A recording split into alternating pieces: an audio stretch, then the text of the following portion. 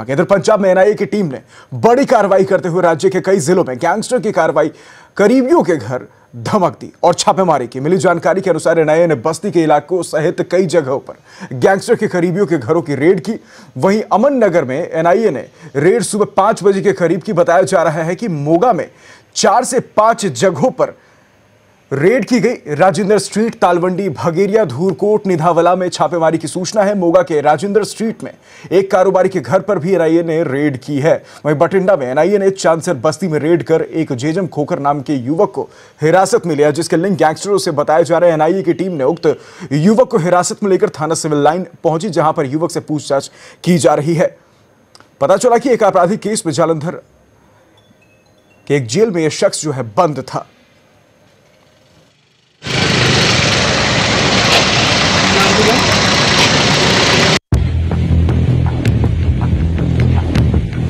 ਪਨੀਤ ਸ਼ਰਮਾ ਹੈਗਾ ਗੈਂਗਸਟਰ ਹੈਗਾ ਇਹ ਖਿਲਾਫ ਮੁਕੱਦਮੇ ਕਾਫੀ ਦਰਜ ਆ ਉਹਦੇ ਘਰ ਚੈੱਕ ਕਰਨ ਆਏ ਸੀ। ਕਿਹੜੇ ਗੈਂਗ ਨਾਲ ਸੰਬੰਧਿਤ ਹੈ ਜੀ? ਉਹ ਗੈਂਗਸਟਰ ਕਈ ਸਾਰੇ ਰਾਲੇ ਮਿਲੇ ਹੈਗੇ ਆ ਉਹ ਕਈ ਕੇਸਾਂ 'ਚ ਵਾਂਟਡ ਹੈਗਾ ਉਹ। ਇਸ ਤੋਂ ਇਲਾਵਾ ਹੋਟਲਾਂ ਤੇ ਵੀ ਰੇਡ ਕੀਤੀ ਜਾਂਦੀ ਜਲਦ ਵਿੱਚ ਦੇ। ਨਾਲ ਉਹ ਅਸੀਂ ਤਾਂ ਇੱਥੇ ਆਏ ਸੀਗੇ ਇਹਦੇ ਸਰਚ ਕੀਤੀ ਘਰ ਦੀ ਇਹਦੇ ਪੁੱਛਗਿੱਛ ਕੀਤੀ ਬੜੀ ਢੰਗਾਈ ਨਾਲ ਸਾਰੀ ਗੱਲ ਨੂੰ ਸਾਰਾ ਕੁਝ ਨੋਟ ਕੀਤਾ। ਠੀਕ। ਕੁਝ ਬਰਾਮਦ ਵੀ ਹੋਇਆ?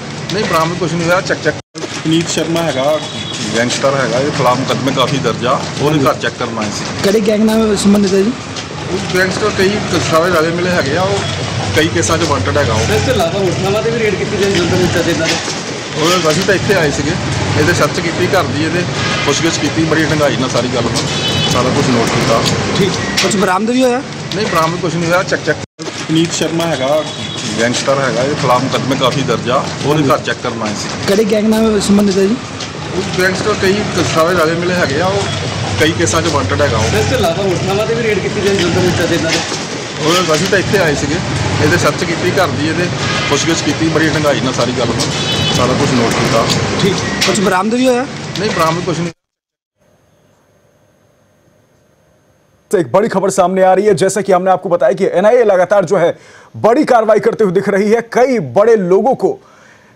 कई बड़े लोग जो है एनआईए की कार्रवाई के जद में आए हैं तो गैंगस्टर के करीबियों के घर एनआईए की धमक देखने को मिली है।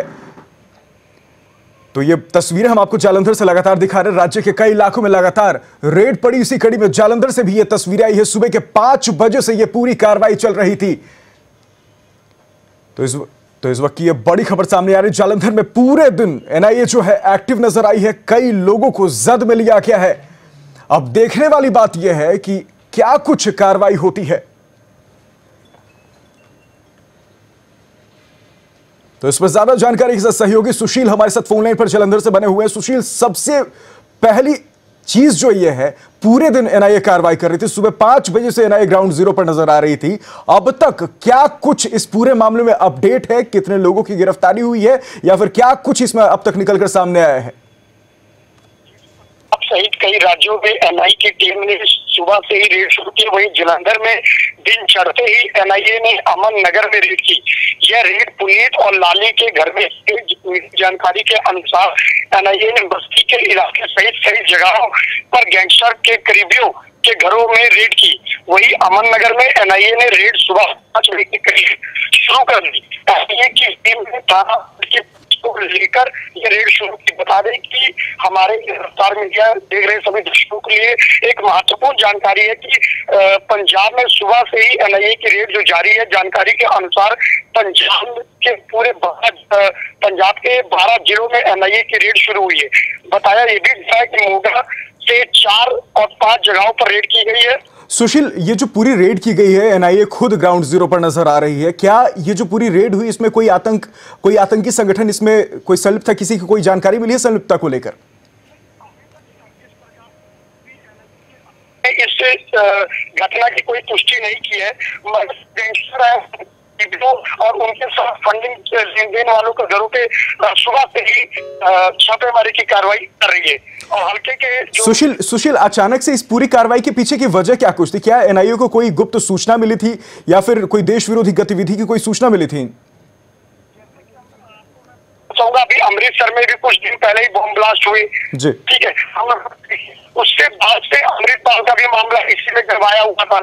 जो एनआईए की टीम थी और भी जो खुफिया एजेंसी वो देश बनाए रखी हुई थी। बिल्कुल शु, शुक्रिया शुक्रिया शुक्रिया सुशील तमाम जानकारी के लिए। तो जालंधर से यह बड़ी खबर सामने आ रही जहाँ एनआईए जो है लगातार ग्राउंड ज़ीरो पर नज़र आ रही है। वजह साफ़ है पिछले कुछ दिनों में पंजाब में लगातार इस तरह की घटनाएँ हुई हैं जिसके बाद एनआईए को कहीं ना कहीं ग्राउंड ज़ीरो पर आना कहीं ना कहीं मैंडेटरी हो